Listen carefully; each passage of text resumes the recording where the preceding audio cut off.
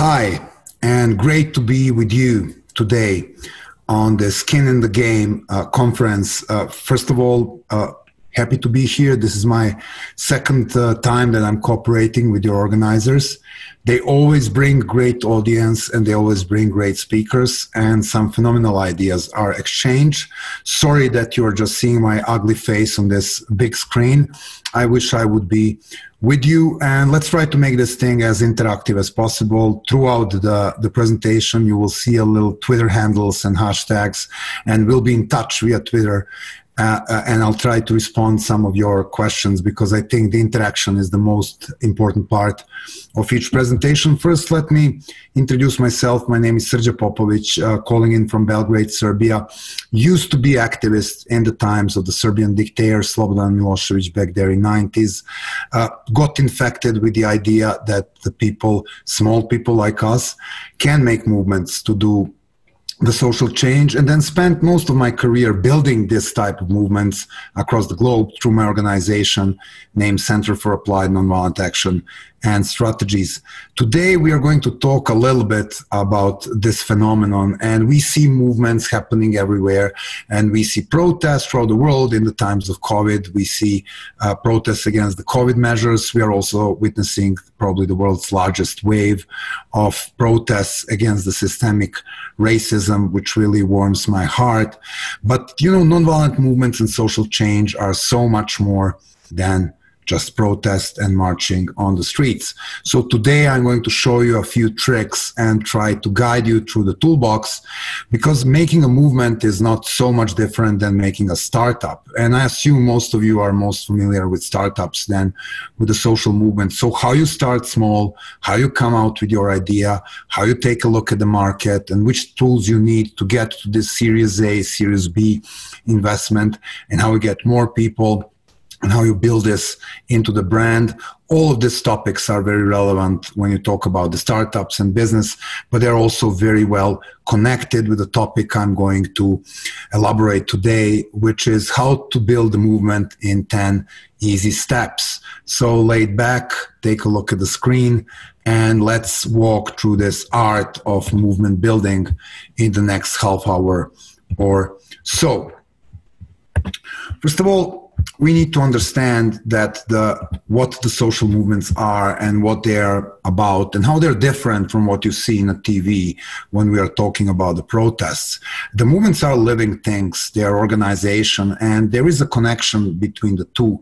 What you see when you see protest is what we typically call the mobilization, but very important part is putting this mobilization in use and turning it into the organization. And this is where we are looking at several steps that you may want to imply if you take a look at the social change, or if you're passionate about fixing something in your neighborhood, if you're passionate about the climate change, if you're passionate about your environment, also if you're passionate about the politics and injustice, these are all very interesting tools that you can apply.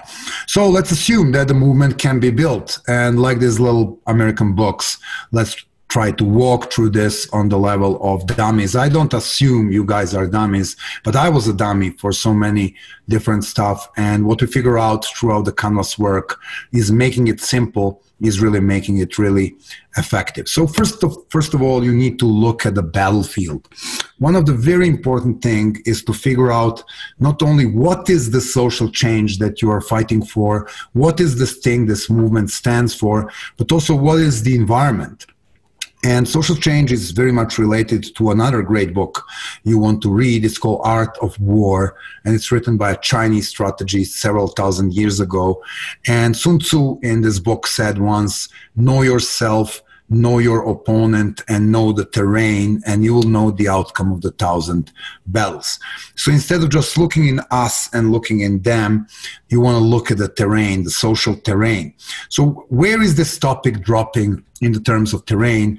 And let's take a look at some of the topics that are nowadays very present. Let's take a look at environment, for example, and climate change. So, who are the leading activists on fighting the climate change? Who may be your active allies? Taking a look at the organizations, taking a look at the Green Party, taking a look at the green businesses, who may be benefiting from more active climate change politics. And then you want to take a look at your opponents. So, who, so who says this is a Chinese hoax? Where is the oil industry? Where is the where is the coal industry? Where are all these opponents of, of your topic? And the social change towards this topic. But most important, who are the people in the middle? And how do you mobilize this silent majority? Because whatever the change is, and whenever you're looking at the different constituencies, the large number of the people actually drops in the middle of this social spectrum we normally teach as uh, uh spectrum of allies. Majority of people are either not interested, they're not informed enough, they don't care, they think this is somebody else's problem. Well, finding the way to talk to these people, finding the way to figure out what it would take for them to get involved in a process and finding the way to recruit and train them is actually the key to the victory. So what you're looking at is not making your allies more active is not disabling your opponents, but actually mobilizing the group of the people that we called the middle ground or neutrals. So how do we find these neutrals, how they are segmented, and why would they care for our topic is the first thing that we need to do when we are building this toolbox. Step number two, know what you want. Uh, you know, the social change is a journey from place A to place B. Place A being a status quo on certain topic, place B being where we want to be. First, we need to decide where we want to be. This also impacts the process of uh, a nonviolent struggle very much because in building this vision. You're actually talking to the constituencies you want to mobilize. You're talking to your allies and you're trying to find the smallest common denominator. So what is this list of things that people can agree upon uh, as the list of things that people can't agree upon? And once again, how do you build towards the neutrals? And this also answers the question about your organization's mission, about the things you'll put in your website, about your talking points. But these are the product of the of the process in which you really need to find your vision and really need to understand that you need to build a unity around this vision. And unity doesn't mean only the unity of like-minded people. Unity also means that you need to talk to the people you disagree on certain topics and you want to make want to take a look at the women's rights questions which is also a very hot topic in the world and recently 4 years ago we witnessed the largest world mobilization in america around the day of President Trump's inauguration. So, probably the single largest number of people being on the street in one day in the history of US. But it wasn't followed up with the organization because there was no clear vision so, yes, we would all like women to be equal as a man, but what are these topics in this struggle which can cause unity? Where this is the equal salary for equal work, where this is something else, you want to take a look at the set of the very concrete goals and then unite the organizations and groups around these goals. You also want to look at the topics that divide people. So when you talk about the uh, uh, for example, gender equality, and you're looking at the United States, there is this pro life, pro abortion thing, which is very divisive and somehow creates the identity. So you have groups that are standing for women's rights that are very much uh, uh, uh pro choice or pro abortion, but they're also very much for some other things like equal salary for equal work. And you have groups of very loud conservative women in US that are supporting strongly the idea that women should be CEOs or they should be paid as men or they should be the half of the Congress and the half of the Senate. But when it comes to the issue of abortion, this becomes very divisive. So how do you build the smallest common denominator based on the facts that you agree upon and how you agree what are the topics that you disagree and you don't make them the, the problem at the beginning because that will slow the movement's growth. Uh, long story short, you want to look at the things that connect people and the things that people can agree upon, and you should build your movement's vision around this topic, agreeing to disagree about other topics later. Step three is how we are going to get there. Uh, there are three principles of successful movement. The first one being vision and unity, the second one being planning, the third one being nonviolent discipline. And when you see the protest on the TV, normally people think uh, that this is a one time standing event. And very often you have dramatic events, the events that change the landscape of the country or the world. And very often you see the TV anchor saying, oh, well, a spontaneous uprising. You had millions of people on the street. Nobody expected this. Well, let me tell you the truth. There are only two types of social movements in this world. They're either spontaneous or successful. They can't be both. Successful movements need meticulous planning, and that planning should be from planning your general strategy, looking at the pillars and the institutions you want to shift towards the social change, building the campaigns towards individual pillars and institutions that you have been targeting, producing these campaigns, and then what you see on the TV is just the tactics. So protests and marches and petitions, all this stuff, this is very on a tactical level. But once again, to quote Sun Tzu, uh, strategy without tactics is just the wishful thinking, and tactics without strategy is just noise before the defeat. You want to look at the boat, you want to look at the strategic planning, and you want to look at the tactical planning. And yes, that reminds you on the business. You want to look at the market, you want to look at the business plan, you want to look at the sales plan, you want to look at the pockets of consumers that you want to target. This is very similar, but here we are talking about the mobilizing people and not the money revenue. And what you really want to keep in mind at all times is that you need to break this journey into the small portions. Movements are, are the thing that are related to emotions.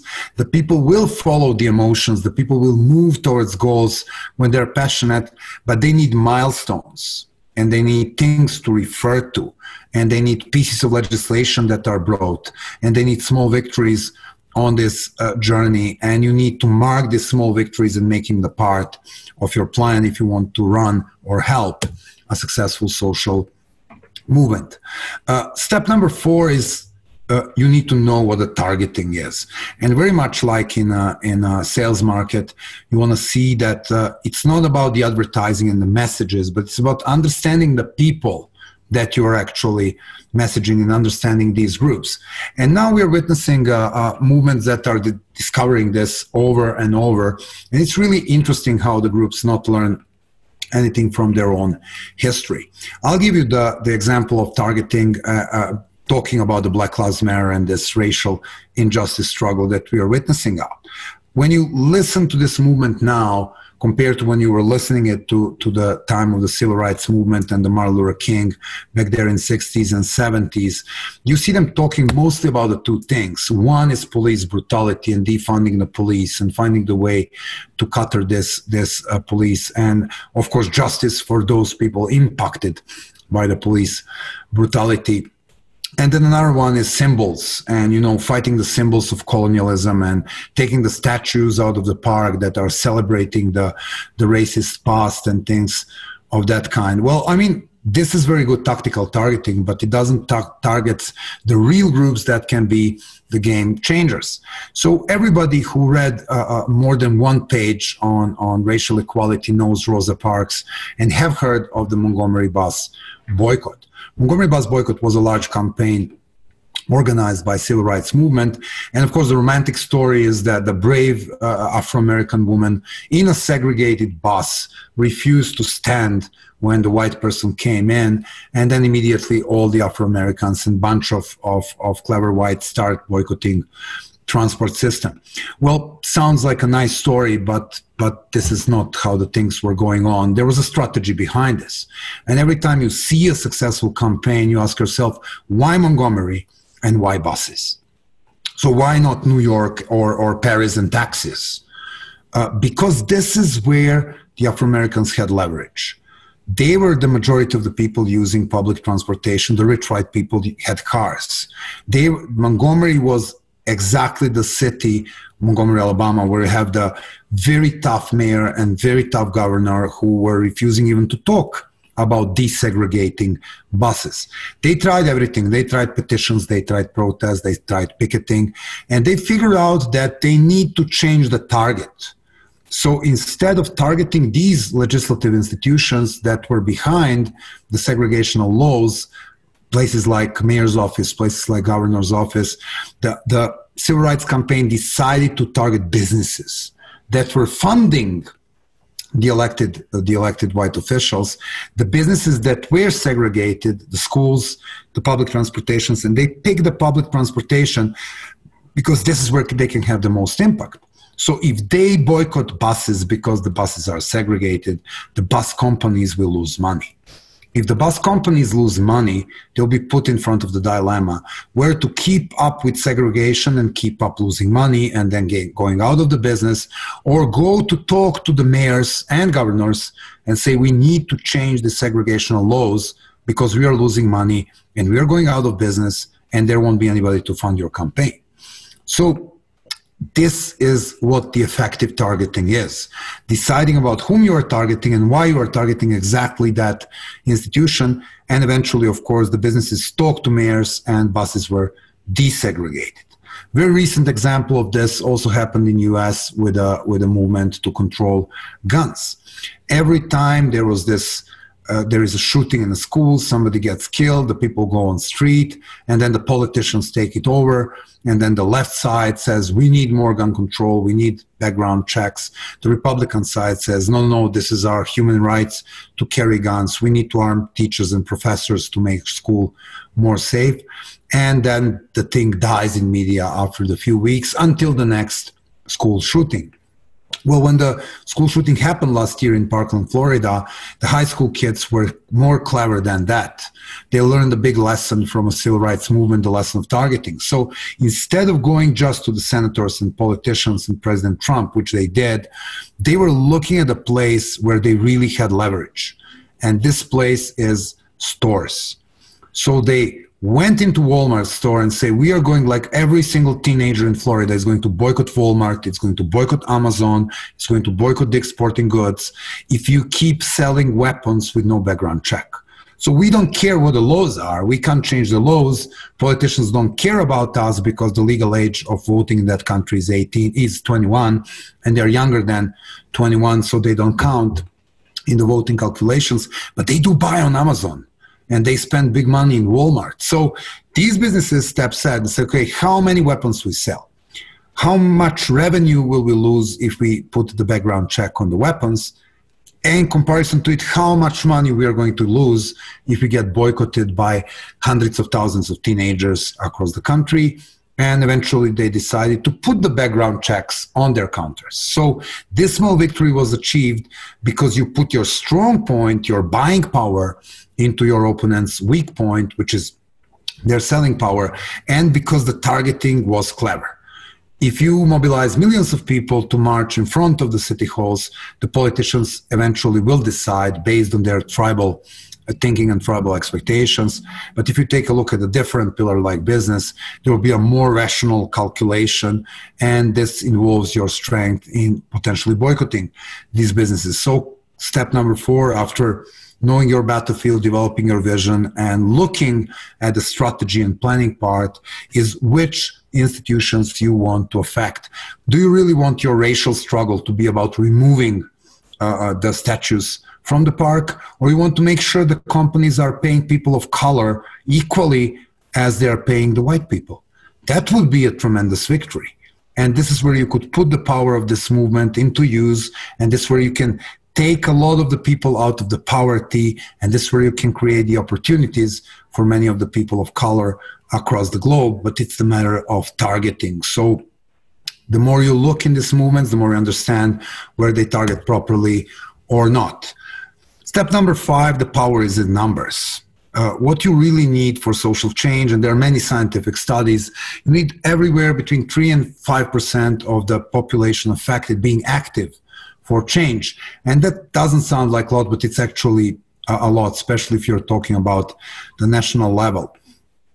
People power movements are all about the people. So most of your activity is getting more people and getting the best out of these people. Why are people so important part of the movements? First of all, they give you authority. The more people you have, the better chances are that somebody will listen. Second, the people are source of ideas. The people are source of skills. The people are source of talent. And for good quality movement, you need many, many different talents. It's not enough to wear badges and, and yell slogans on the street. Somebody needs to know how to fundraise. Somebody needs to know the arts of public speaking. Somebody needs to design leaflets to look nicely. Somebody needs to build a website. If you want a successful movement in 21st century, we need the people with skills in social media. So more people you recruit, the better are chances that you're going to get the skills into your movement. People are also the single individual source of the new people because the people who like movement, the people who participate in the movement, tend to spread these ideas, and then they can recruit their friends and family and neighbors, and this give access uh, from your ideas to the people that you can't easily access. So the main lesson for successful movement is you need to recruit people you need to invest into people's training. Investing into people's skills is the single best investment when it comes to the nonviolent movements. And then very soon you need to get people active. Because if people are recruited and are just the, the passive members they tend to leave. The difference between the movement and the structured organizations like ngos and political parties is that movements move this is why they are called movements. And in order to move movements, you need to figure out the small things that people can get engaged so they contribute. The trick is you recruit a person, you bring a person to the meeting, and then next week there is a few pens that the person needs to spread there are like the few few uh, uh, few posters they need to put few stickers a petition offer for them to sign something little to make them feel useful to make them feel that this movement really really is something that it is about the people, not about the leadership. The more ownership you give to the people in the movement, the more they're likely to carry on movement, the more they're likely to come with, uh, with their own fresh ideas, and the more they're likely to carry on throughout the exhausting struggle. And that struggles, you know, they, they can last for years. These are not the political campaigns which end with the election days. We are still fighting for gay rights worldwide. We are still fighting for for racial rights worldwide. We're still writing for female rights. Uh, uh, there are places where, where, where women are not even allowed to drive. So this may be the marathon. But in order to expect people to participate in a marathon, you need to give them a little something decision making power, the importance. And the more you leverage the people importance, the more is your movement likely to survive and thrive throughout the challenging times. Step number six understand that violence can kill your movement. If you have hundreds of thousands of people demonstrating in the streets of Hong Kong, and then you have the bunch of radicals trying to throw stones and get a clash in the police, guess how the cover pages will look tomorrow.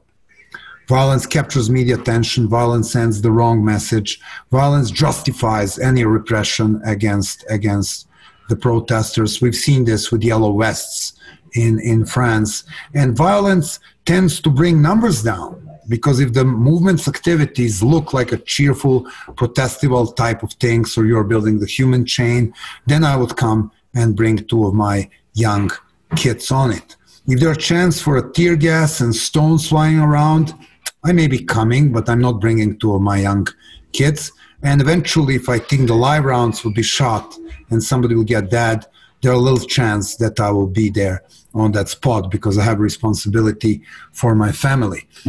Nonviolent discipline is a skill. This is not something related to nations and cultures, and whoever tries to persuade you into this, uh, this is crap. You can learn this like you can learn to drive the car or the bicycle or to ski.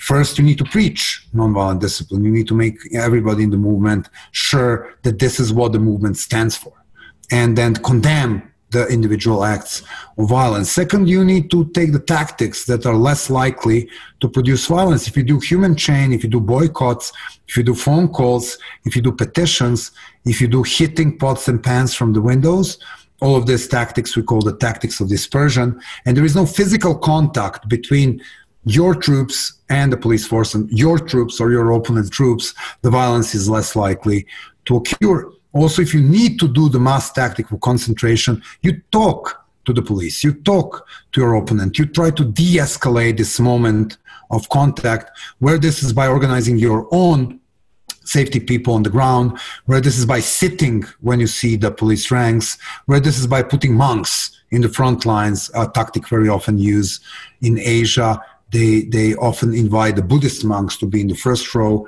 because police wouldn't attack the Buddhist monks because of the of the customs, and then the Buddhist monks are less likely to attack the police than the than the soccer fans, for example. So you can take a look at it from a ideological or preaching level. You can take a look at it on a tactical level.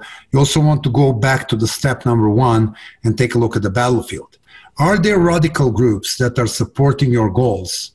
but they're not supporting your commitment to nonviolence. Take a look at every single protest when you have a G, G20 summit.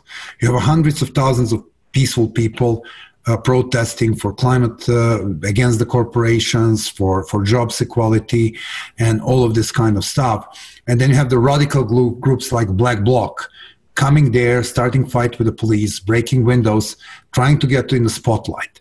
So you need to know how to disfranchise your movement from potentially violent groups because wherever there are cameras, they may come in and then then their message becomes your message in the media if you are not careful.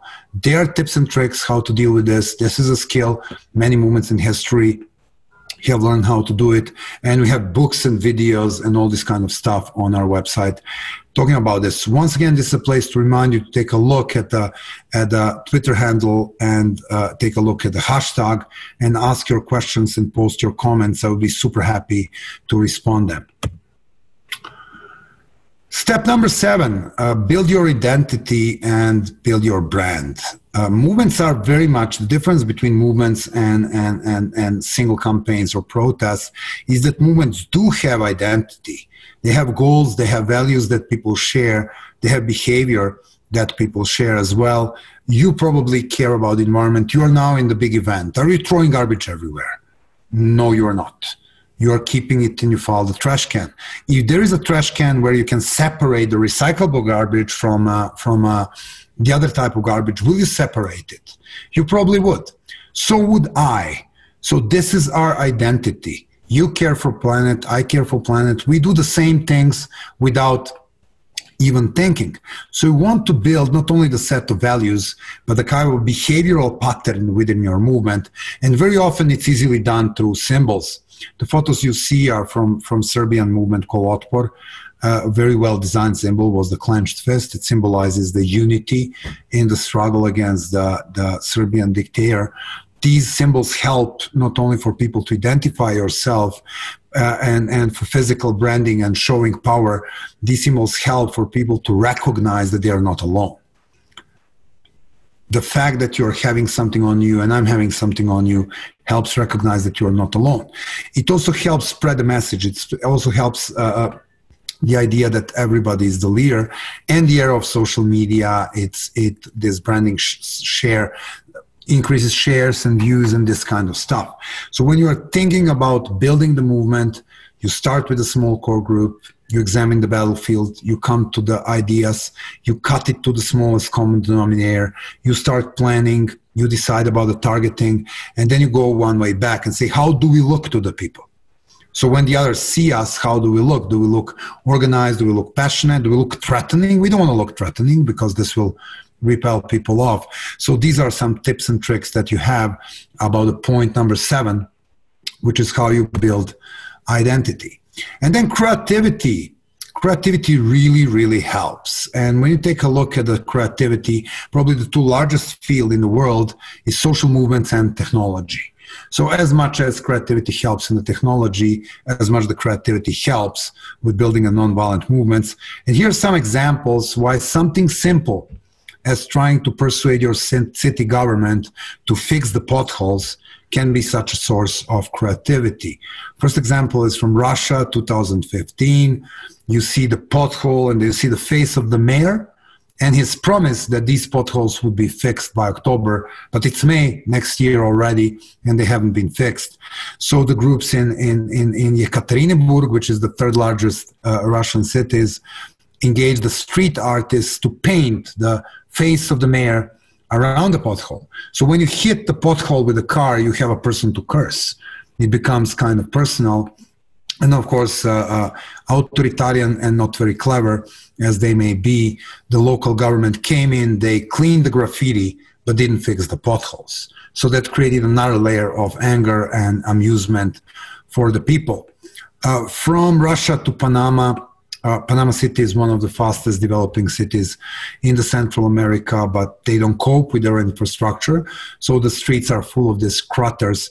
They they engaged the, the, the advertising agency, which would use the small objects which you see on the on the slide that look as a hockey pack.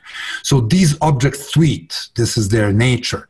So what happens is when you hit the car, which has this little object in it, this little hockey pack, it tweets straight to the mayor account. So hi, I'm the pothole number 32 on the corner of streets X and Epsilon, and I just heard the car of this lovely old woman. Fix me, fix me, fix me.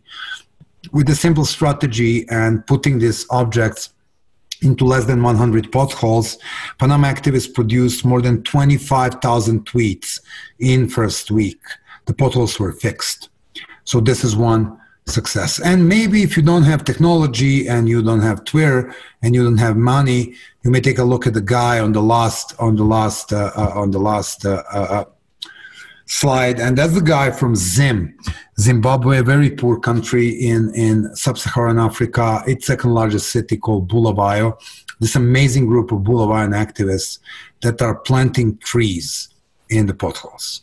So A, that serves as the reminder that the potholes are that big and unresolved that they can host the whole tree. And then B, it helps you with not hitting the pothole because as your driver, you will see the tree. These potholes were also partly fixed. So when you take a look at the how different cultures and groups on different level of, of social freedom and different level of money access and different level of technology are treating just one simple thing like potholes you get the idea how important is creativity in building your social movement from creativity to humor uh, yes, changing society is serious business, but yes, you may want to be as unserious as possible. We spent years, and recently the book came out, Pranksters versus Autocrats, which you can buy like from the Amazon. We were looking at the 40 cases of people using humor in chasing nonviolent struggle and perceiving social change. For putting the face of the Serbian dictator on a petrol barrel in Serbia back there in 1999, and then inviting people to hit it with a bat, and then having the line of the people doing this, and then creating this large dilemma for the police what they will do. Because you're doing nothing illegal, you're hitting the barrel, so they can't arrest you. They can't find who the heck organized this, so they can arrest us who organized this, and they ended up arresting the barrel in front of the TV camera, so that ended up being on the cover page of the newspapers. And from there all the way to Siberia, uh, where after the, the elections, uh, the fraud elections in 2012, people were not allowed to protest, but they brought the toys and they made the toy protests. And then they made the local police ban the toy protest because the videos from the toy protest went viral and you just type in the toy protest in Google, and there is a little movie you can watch. It's amazing on Guardian, I think. And uh, what you are figuring out there is that uh, the role of humor is threefold. It breaks a fear and apathy uh, within the society. It helps your movement or group look cool, and people love to thrive around the cool things in every segment of life. But most important, if you challenge people in power with a prank, a lot of these people have a very distorted vision of themselves and they take themselves too seriously. So even the most powerful guy in the world, eh, when it comes to controlling its media and the police, Vladimir Putin, the guy who poses shirtless and love wrestling tigers and saving dolphins from drowning and diving for amphoras. And he would react and ban the toy protests and therefore show that he's afraid of toys. So these dilemma actions are putting your opponent between the rock and the hard place. So if they ignore it, people will know that they can get away with it and they will keep it doing it. So they will appear weak. If they react to it, they will appear stupid. So this is a lose-lose scenario that we're talking about, and there is a growing impact of this type of creative, humorous actions in nonviolent struggle. Last but not the least, importance, finish what you start. So many amazing protests we had in Arab Spring 10 years ago, still only several countries made some kind of democratic advance. The others are back in autocracies or worse, like Libya, turned into civil wars. Actually, there are three phases in the life of every social movement. The first one is fun. You emerge, you recruit numbers, then you engage and grow numbers. And then there is a place we call the victory point. This is where movement have a chances to win. And then whether by making a strategic mistakes, whether by not planning for the transition, whether by losing steam and numbers, these movements fail. So the science teaches us that the most vulnerable part of the movement is not when you start, but when you're on the brink of the victory. So how do you turn this victory into the real institutional change and what are the pitfalls that are waiting for you is something that we are passionately exploring and teaching people about first of all you need to understand that you're vulnerable in that stage and then second you need to, to plan after this stage. So it's not just protesting so we bring down the coal plant. We need to find a way to figure out how to prevent coal plants being built in large cities so our kids are not burning, uh, are not breathing dust. So whatever struggle you pick, you need to make sure that it has a follow up and it ends up the proper way. At the end, uh, here is the book for you that you can buy in France. I don't have a clue how to pronounce it. its title, its original title is Blueprint for Revolution. Uh, it's a story of how we were dealing with 35 different groups from different countries throughout the history, but it's also a story of courage and creativity and commitment for many of these groups. Once again, if you want the successful movements, what what you can do, yes, you can build it, and then and then what happened and how we can help this movement by identifying the core group, building skills, help strategic and tactical planning, boosting this engine of recruitment and training, be there for them in the moments of despair, and at the end, make sure that the job is done. Uh, without further notice, I would say that uh, this may not be something that is that you're doing the, the, dealing with in, in, in your life but it creates news and it creates change and if you're ever in the position to start a social movement or help a social movement remember that there is a very handy toolbox on how to do this effectively. Once again, take a look at the Twitter handle and hashtag down there. I would be happy to answer your questions. I don't know if we are going to manage to see you live. That may or may not happen depending on technology, but I'm following your questions on Twitter and I will be responding and hopefully you will see it on the Twitter feed.